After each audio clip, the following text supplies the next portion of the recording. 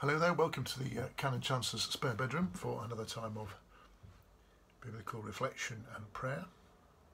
And we're uh, back today to the Gospel of St Luke, St Luke chapter 12, verses 41 to 48. I think it's quite a difficult little passage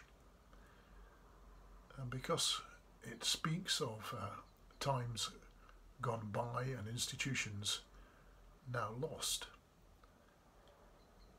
It's a passage that's going to take quite a bit of unpacking as we think of its relevance for us today. Peter said, Lord, are you telling this parable for us or for everyone?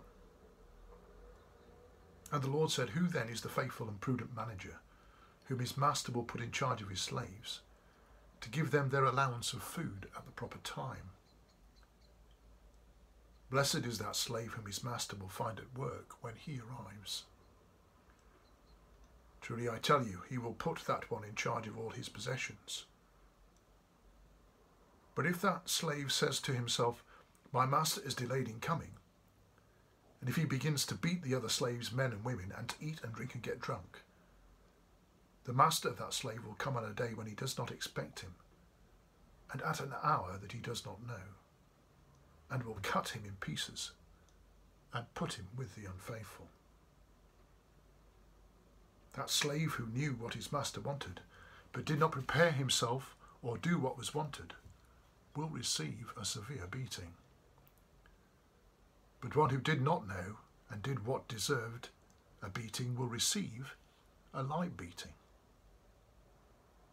From everyone to whom much has been given, much will be required and from one to whom much has been entrusted, even more will be demanded.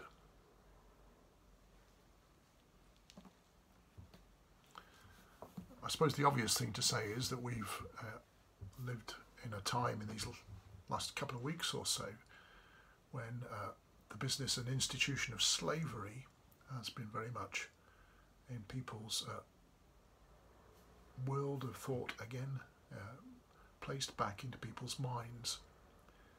And the question of whether uh, statues uh, to those who uh, benefited somehow from uh, the slave trade of the past should remain as symbols in our society in some way. And as I speak to you now, that debate to some degree rages on.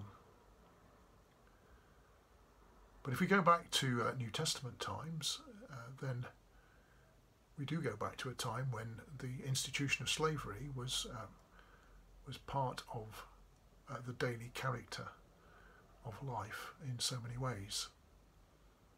And it was often the case in that society that uh, some people, at the higher end of society, held uh, unreasonable powers over those at the lowest end the point where they would enslave them and have complete dominance over their lives.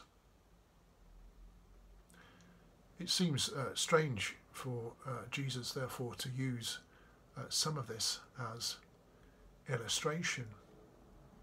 But in doing that, he's being a human being of his time, uh, living in the context of his day, and uh, looking at the metaphors that might mean something to the audience that is hearing his words.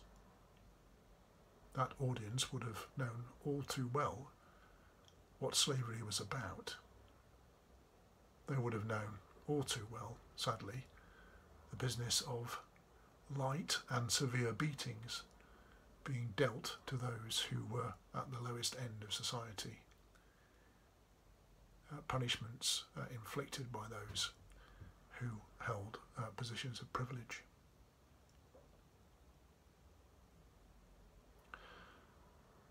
So, uh, on one level, the language to us is very strange. If we were to describe the, the benefits of, uh, following God today in terms of whether you were going to receive a light or a severe beating for doing so, then uh, I suspect we would not have very many uh, people queuing at the doors wanting to hear more about this God that we often talk of as being loving. But in this reading, uh, Jesus is illustrating to some degree the whole business of the uh, urgency of his mission. And certainly in New Testament times and soon afterwards, there was a great sense that uh, Jesus not only would die and rise again, but would soon return and finally uh, make this world what it was always meant to be. And part of this reading is simply telling the people who are hearing it, be ready for that. Act as if Jesus is about to return. And if Jesus did return today, uh, what work of his kingdom might you be found doing? What might you be offering uh, to your community and your society somehow in his name? And I think that's going to be quite a big question for uh, the church in uh, coming days and weeks. Uh, we have, uh, at the time I record this, just opened our churches again for the business of private prayer. And uh, we will no doubt in coming weeks get back to uh, worshipping together again and caring for the faithful in a more real and physical sense.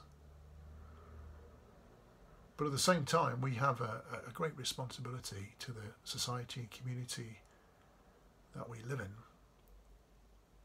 And there will be many uh, long standing hurts in that community and society as a result of uh, all that we've been through in the face of COVID 19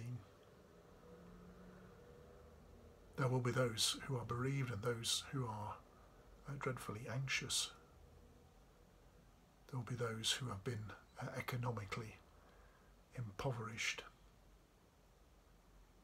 And for a while, we are going to see uh, more people, I suspect, uh, struggling with aspects of day to day life. So, if we are the faithful community, what this reading is also saying to us quite clearly is that much will be demanded of us. We cannot, in that, I think, uh, simply uh, hide ourselves behind the doors of our churches uh, and minister to the faithful and speak of uh, heavenly salvation without going through those doors into our community and doing all we can to help in uh, the material salvation also of the many who will face hardships in coming days and weeks. That feels like an awesome responsibility. The hard message, I think, of this New Testament reading is that Jesus simply tells the people of his day that. If you are a follower of mine, then uh, many blessings may come in your life. But with those blessings comes a great responsibility. A responsibility to be real and active in uh, the physical as well as the virtual world. And to be the hands and voices of God in that world, seeking to uh, do his work, inspired uh, by his Spirit, offered through his grace and love.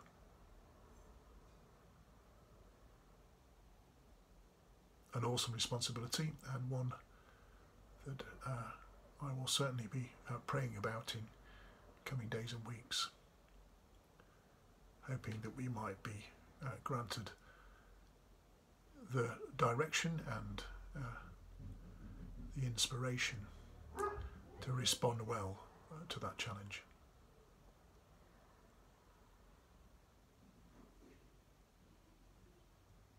We think about uh, the recent divisions in our society. For those who remember back to uh, the dreadful days of slavery, when uh, one group of people in society held unreasonable levels of power over others. We pray for an end to those divisions. O God, the Father of our Lord Jesus Christ, our only Saviour, the Prince of Peace, give us grace seriously to lay to heart the great dangers we are in by our unhappy divisions. Take away all hatred and prejudice, and whatever else may hinder us from godly union and concord. And we ask this in Jesus' name. Amen. We pray the prayer we prayed many times, which uh, looks to uh, those who are hurt and hindered by the crisis we faced and hands them into God's mercy. Keep us, good Lord, under the shadow of your mercy. Sustain and support the anxious. Be with those who care for the sick and lift up all who are brought low, that we may find comfort, knowing that nothing can separate us from your love. In Christ Jesus our Lord. Amen.